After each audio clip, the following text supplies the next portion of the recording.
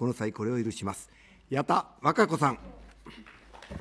私は地域の自主性及び自立性を高めるための改革の推進を図るための関係法律の整備に関する法律案に対し、立憲民主党民友会希望の会及び国民民主党新緑風会を代表して、修正の動議を提出いたします。その内容はお手元に配布されております案文のとおりです。これよりその趣旨についてご説明いたします。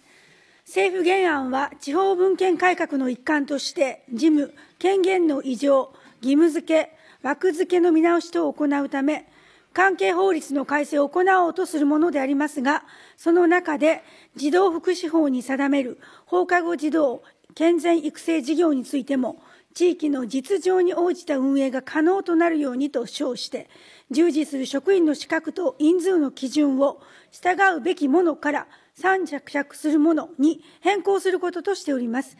しかし、この基準は子どもにとって放課後児童クラブが安心して過ごせる生活の場となるよう、全国的に一定水準の質の確保を図るための最低水準として定められたものですから、地方分権改革という枠組みにおいて議論されるべきものではありません。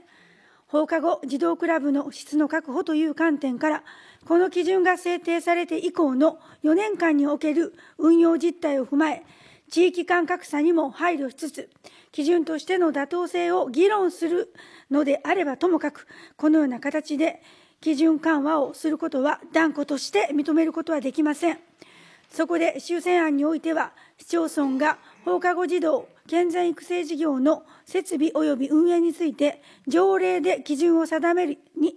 定めるにあたり、従うべきものとされていた厚生労働省令で定める基準について、これを参酌するものと変更する規定を削除することとしております。以上が修正案の趣旨であります。何卒、議員各位のご賛同を賜りますようお願い申し上げます。これより原案及び修正案について討論に入ります。ご意見のある方は賛否を明らかにしてお述べ願います。